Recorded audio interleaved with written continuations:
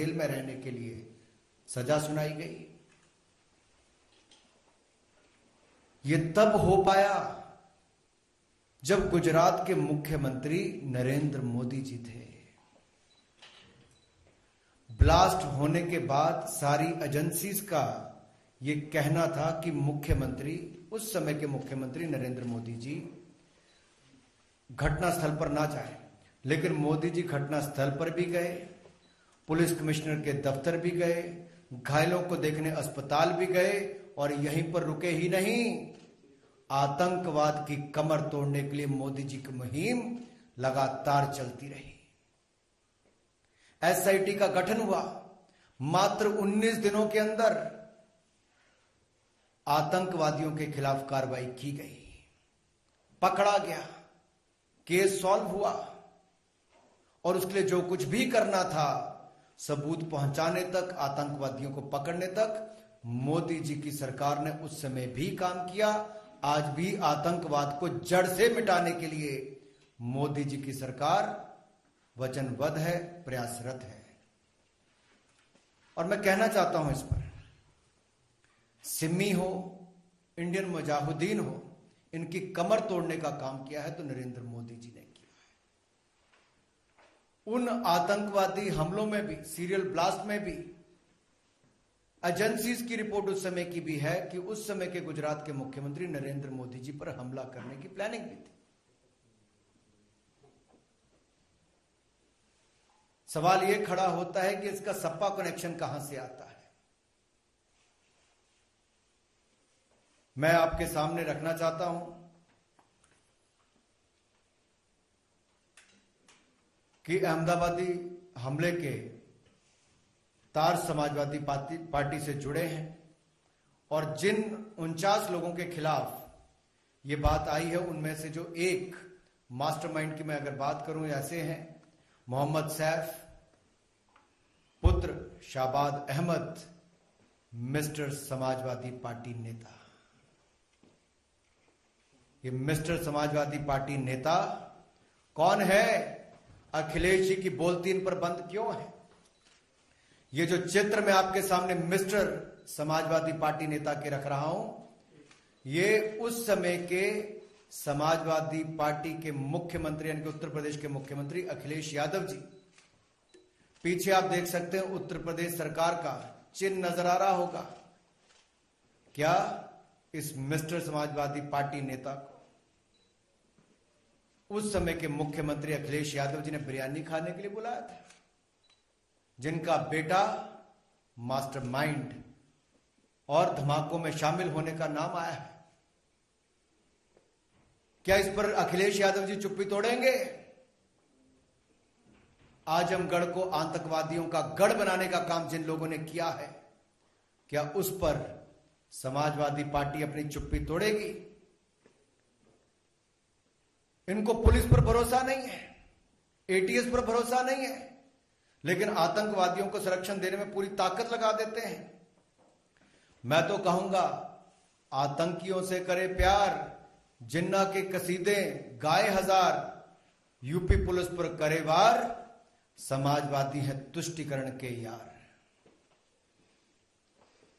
ये तुष्टिकरण की राजनीति के कारण ही गुंडे, माफिया, आतंकियों को बल मिलता रहा। समाजवादी पार्टी की सरकार में। पिछले पाँच वर्षों में कमर तोड़ने का काम उत्तर प्रदेश में योगी जी ने किया है, अपराधियों की, गुंडों की, माफियों की।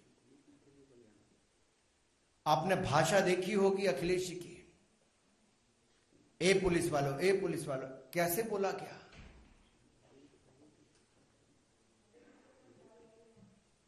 और एटीएस और पुलिस पर प्रश्न चिन्ह खड़े किए और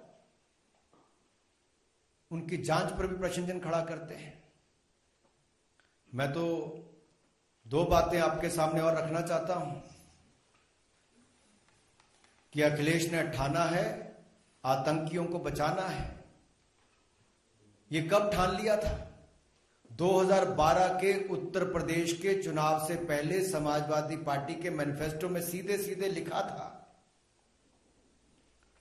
और सीधे जो लिखा था, वो क्या लिखा था? कि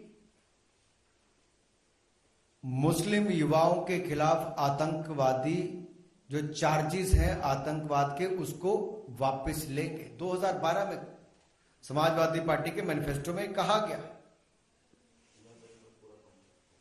और 2013 में सत्ता में आने के बाद अखिलेश जी ने, लेकिन उससे पहले क्या काम है? एक बार आपको पढ़ के बता दो। 2012 के मैनिफेस्टो में समाजवादी पार्टी देश की पहली ऐसी पार्टी थी, कोई पॉलिटिकल पार्टी की, जिसने मैनिफेस्टो में वायदा किया था कि मुस्लिम युवाओं को टेरर चार्ज को छोड़ दिया जाएगा। वापस लेने की बात कही थी। और क्या कहा था? कि जिन लोगों ने ये चार्जेस लगाए हैं, ऐसे पुलिस वालों के खिलाफ सपा की सरकार कार्रवाई करेगी।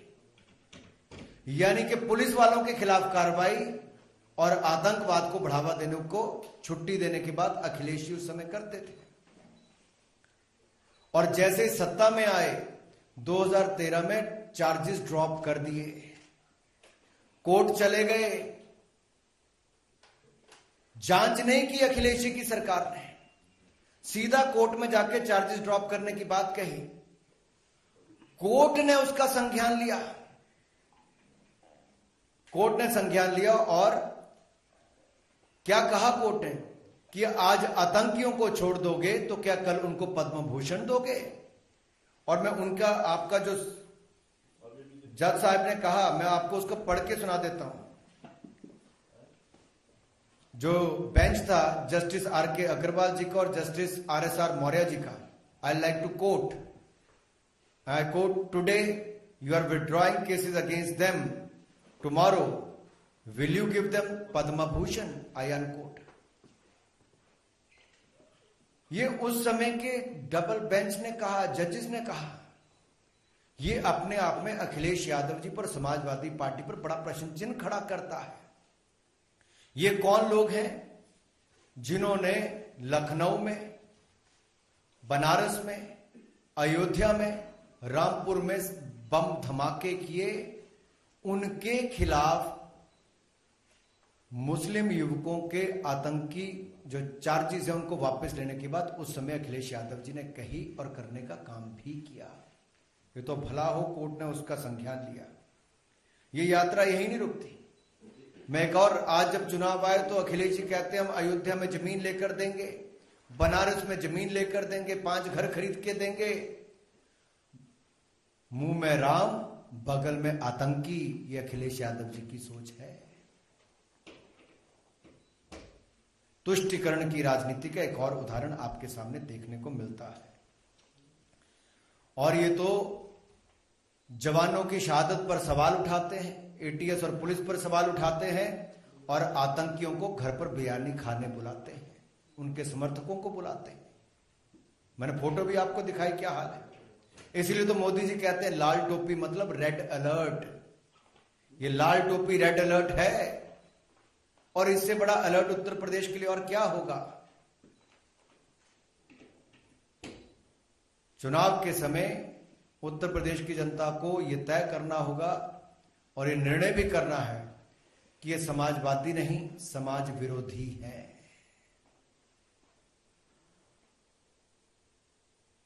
अगर आप अगले भी उदाहरण देखेंगे तो उसमें भी स्पष्ट तौर पर आपको नज़र आएगा, केवल अकेले अखिलेश यादव जी नहीं, आज़म खान हो, अबू आज़म हो, ऐसे इनके बड़े नेता सब, पुलिस वाले शहादत उनके घर पे नहीं गए। जिनको आतंकवादी होने के आरोप में पकड़ा गया, उनके घर पर उन लोगों के परिवारों से मिलने गए। ये आतंकवादियों को, उनके परिवारों को संरक्षण देने का काम सपा करती है, भाजपा ज़ीरो टॉलरेंस की नीति के साथ चलती है। यही नहीं, मोदी जी ने आतंकवाद के खिलाफ ज़ीरो टॉलरेंस को देश के अंदर तो किया ही, मुख्यमंत्री रहते हुए भी, प्रधानमंत्री बनकर भी। मुख्यमंत्री थे तो अहमदाबाद के बम ब्लास्ट, सीरियल ब्लास्ट के खिलाफ कार्रवाई की। 26 ग्यारह का हमला हुआ तो मुंबई जाकर स्वयं वहाँ पर भी गए। और जब प्रधानमंत्री बने तो दुनिया भर के नेताओं के साथ आतंकवाद के खिलाफ ज़ीरो टॉलरेंस की नीति को मोदी जी ने आगे बढ़ाया है। और आगे बढ़ाएँगे। पिछले सात वर्षों में देखिए, सैकड़ों आतंकवादियों को मार गिराया। आतंकवादी हमलों को यहाँ पर अंजाम नहीं देने दिया है। ये भाजपा का ज़ीरो टॉलरेंस आतंकवाद के खिलाफ है। अगर आप, मैं लंबा इस पे नहीं जाना चाहता, लेकिन एक के बाद दूसरे उदाहरण देखेंगे। सब लंबी सूची आपके सामने आती है। कैसे समाजवादी पार्टी ने और कांग्रेस ने भी। बाटला हाउस कांड तो आप भूले नहीं होंगे। मोहन चंद शर्मा जी, इंस्पेक्टर मोहन चंद शर्मा जी की शहादत पर सपा और कांग्रेस ने प्रश्न चिन्ह खड़ा किया था। और कांग्रेस के दिग्गज नेताओं ने कहा था कि सोनिया जी उन गुनेगारों के घरों पर जाकर फूट फूट कर रोई थी। लेकिन सोनिया जी, राहुल गांधी जी के पास शहीद मोहनचंद शर्मा जी के घर जाने का समय नहीं था। ना ना अखिलेश जी के पास था, न उनके बाकी नेताओं के पास था। ऐसे कई प्रूफ आपके सामने हैं, जहाँ रामपुर के सीआरपीएफ कैंप पर अटैक करने के, जहाँ पर सात सीआरपीएफ के हमारे जवान शहीद हो गए थे। उसमें भी अखिलेश यादव जी ने उनके केसों को वापस करने की बात कही, जो लोग उसमें इन्वॉल्व थे। इसी तरह से ही समाजवादी पार्टी के ऊपर आरोप और कई ऐसे लेख लिखे गए कि सिम्मी के ऊपर बैन नहीं लगाने के लिए